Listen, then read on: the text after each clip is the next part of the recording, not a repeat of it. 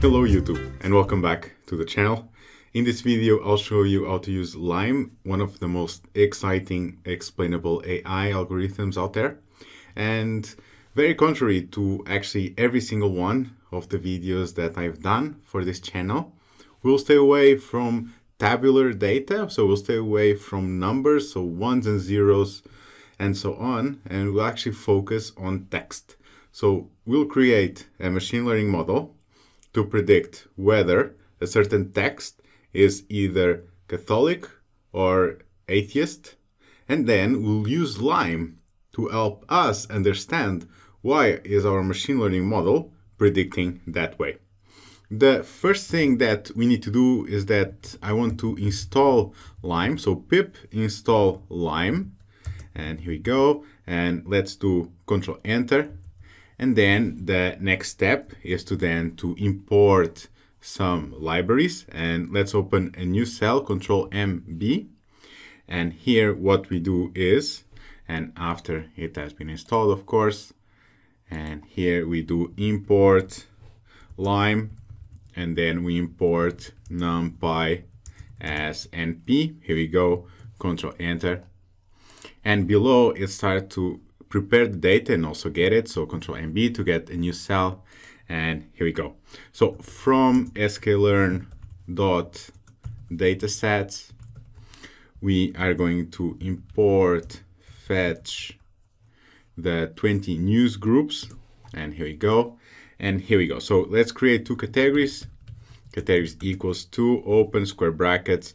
And then inside in single quotes, the first one is alt and then atheism and then the second one would be SOC SOC and then religion and then dot Christian. And here we go. Let's also put everything under single quotes. And here we go because it's time to go to the next line. And here we do. So we create our train train equals to we use the fetch uh, that we have just imported. So fetch 20 news groups and then we create so subset equals to and then in single quotes train and then categories and here we go. So categories equals categories that we have just created.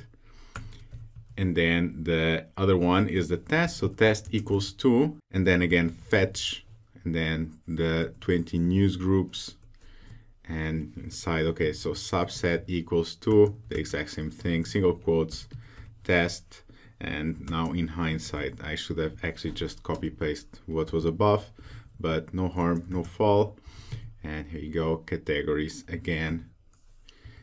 Categories. And here we go let's do control enter. It can take a few minutes so let's wait a bit and I'll pause the video for now all right, we are back and let's create a new cell because now we need to vector. So vectorization.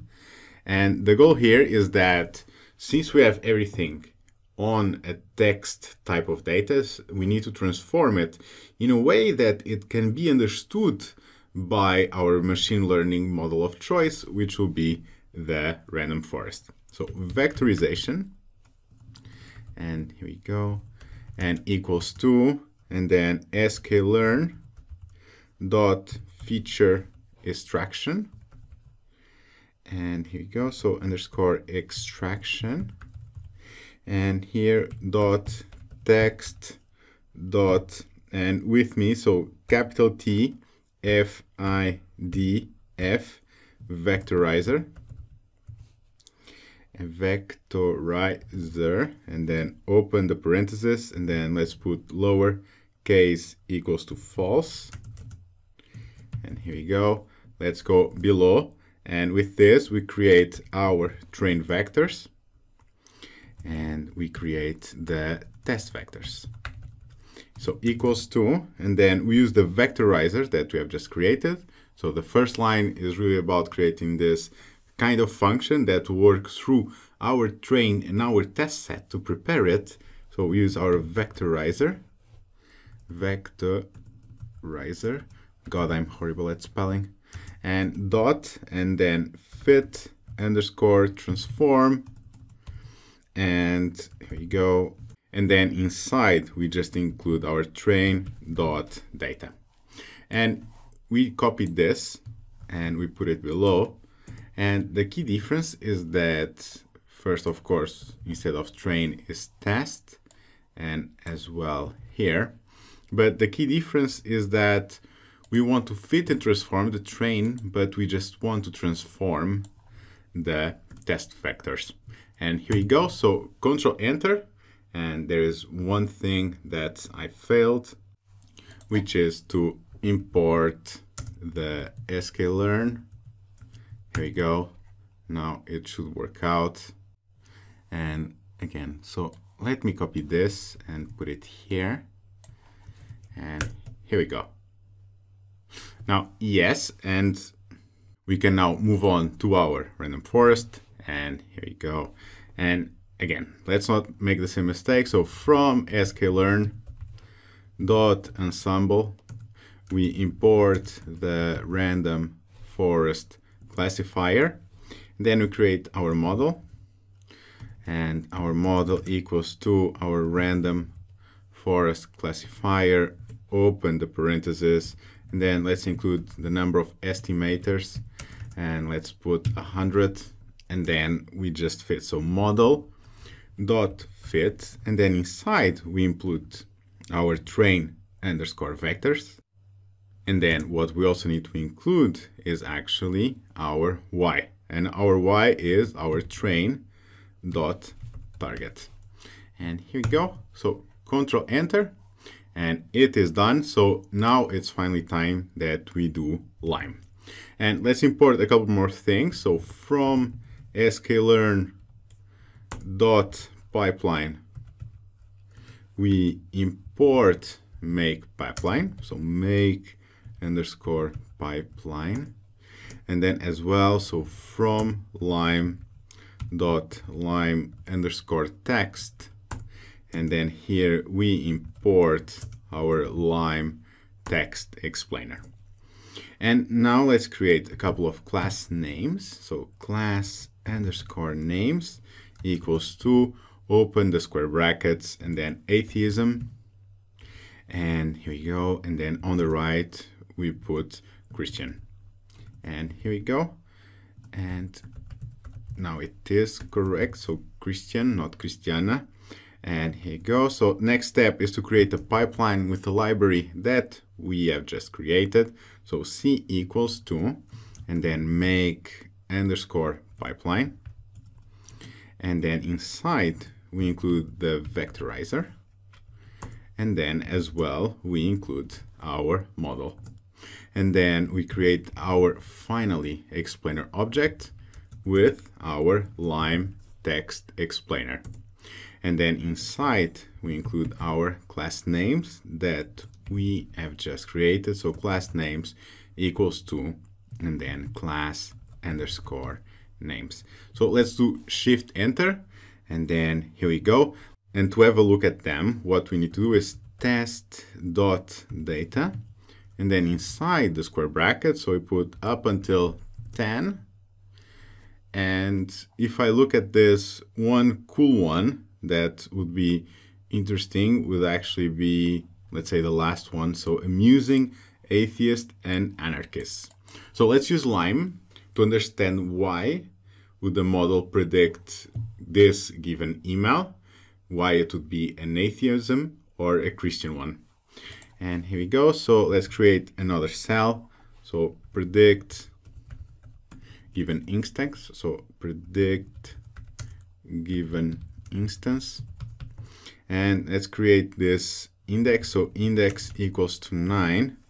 And then we create our explanation. So x equals to, use the explainer that we have just created to explain an instance. And inside what we include, so we include our test dot data.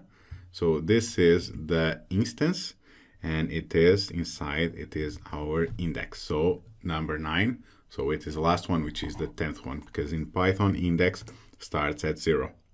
Next, we predict the probability. So this classifier fn, and the way that we do is, so classifier and then underscore fn equals 2 and then we use what we created above so this pipeline which is our c so c and then dot predict and then underscore proba from probability.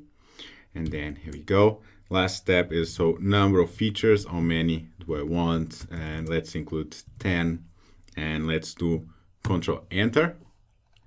And it is thinking a bit and it has done. So let's create the next one which is our last line of code. We write our exp dot and then we show in notebook and then text equals to true. This is so that as you'll see it will highlight some key parameters. And here we go. And as we can see so let's have a look. So for our random forest it is a bit here and there, so it doesn't clearly know why it is. This is why for our random forest, this email is 55% Christian and 45% atheist. And then we can see here why it includes. So where is this thing coming from? So it includes this, you know, keys and the, apparently the word and goes to Christian but if it has article atheists, apparently demons, or RE or rights, then it falls more into the atheist kinds of email. And we could do this with many. So let's include here. So instead of index 9, index 15, and let's do the same. And here we go. And let's see what we get here. So this one is a bit more on the Christian side, so 75% Christian, 25% atheist. And then we see here, so it highlights the words over here. And of course, this is such a simple approach for text data. Arguably, we should have removed the words like the, which are just filler words, but because they appear so much, then our machine learning model actually tries to find some correlation like it is doing, like for instance, from here and this is something that when you do it on your own task or your own project, this is something that you need to tweak it. So you really need to clean a bit your text data because text data is really unstructured in a way. So in order to be fed into a machine learning model, the preparation really needs to be there. I hope though that you actually now feel ready to at least know how to use Lime into a text classification type of problem. And I'm looking forward to seeing you in another video. Until then, have fun.